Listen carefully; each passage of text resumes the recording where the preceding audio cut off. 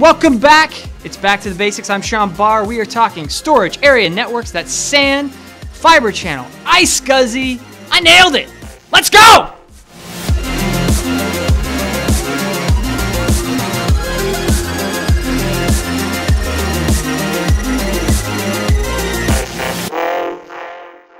All right, welcome back.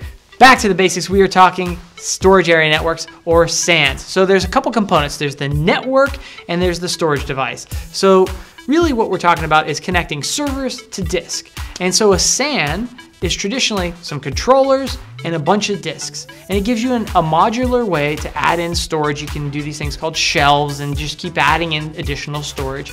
The controllers basically uh, split, segment the load across disks. You have options for performance tuning and tiers. Uh, there's all kinds of things around replication. So if you have a SAN in a data center A and data center B, you can do SAN to SAN replication. So your data is always current in two different physical locations. All these things are great.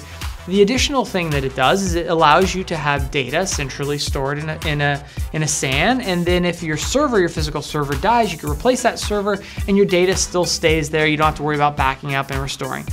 Now, as we've evolved into uh, more virtualization in VMware, SANs enable you to move a workload in production off of a, one server to another. So if you need to do maintenance, things like that, you can move a server that's running to another server by utilizing the SAN.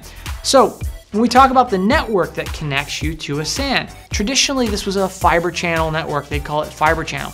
Uh, then Cisco came out and some other vendors came out with FCOE, which is fiber channel over Ethernet. So still leveraging fiber channel, but carrying it over Ethernet. Um, in parallel to that, iSCSI has made a lot of improvements. So it started, once we got to like one gigabit speeds, iSCSI started to make more of an impact. So that's, that's SCSI over IP. So sit, consolidating the network, so not having a fiber channel network, having a regular ethernet network, and running that SCSI traffic over it. But now as one gig is turned into 10 gig, and now we're looking at 40 gig, iSCSI is now becoming the standard for fiber, you know, replacing fiber channel and using iSCSI to deliver storage area network connectivity. So that, that about covers it. So SANs are really just about connecting disk to servers. And in between that is the network fiber channel is kind of transitioning to iSCSI. So the network is getting consolidated. It's an ethernet network, but it's really just storage to compute. So how do we manage it? How do we replicate it? Those types of things. That's what a SAN does. If there's anything I said in this video that you liked, you want more information about, make sure you leave a comment. If there is anything you want us to do, let us know. We want to do it for you. Thanks for watching. Peace out.